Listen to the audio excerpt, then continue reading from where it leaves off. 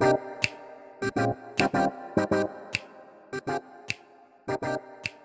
you.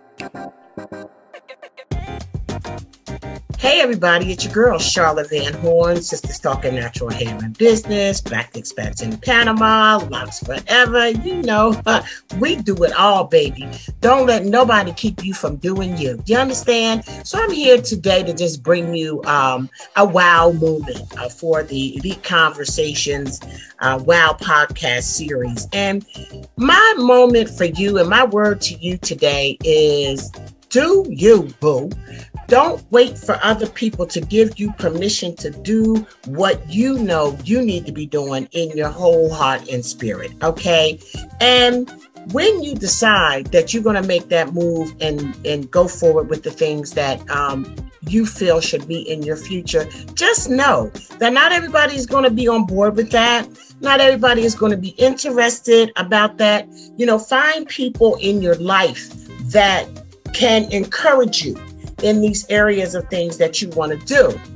Now, there's a lot of people that talk about the whole social media aspect. And you know something, I'm really proud of the social media um, following that that I've built over time. You know, doing different things and just you know bringing them all together. But I'm going to tell you something. Social media is a place where you can go and be genuine. And guess what? That's how you're going to stand out by being genuine. Can you believe that? Listen, people know the fluff. People can look beyond and look in the background of photographs to figure out whether you real or not. You know, don't be afraid to make a mistake. You know, don't be afraid to say something the wrong way and stop looking at what other people are doing.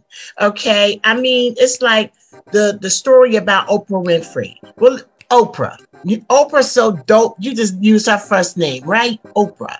So Oprah was just infatuated with Barbara Walters, you know, and she just wanted to be Barbara Walters. And she said that I think it was one one day she was um she was doing a broadcast and she said Canada wrong. I think she said Canada uh, or something like that, or and she just bust out laughing.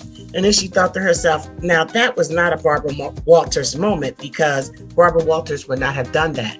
But I'm going to leave you with this thought right now. You have Barbara Walters, who some of you may know and some of you may not. And then you have Oprah, who decided to be her and decided to bring her own energy and her own self to what she was doing. And all I need to do is say her first name. Hello, Oprah. Let that sink in. Do you, boo?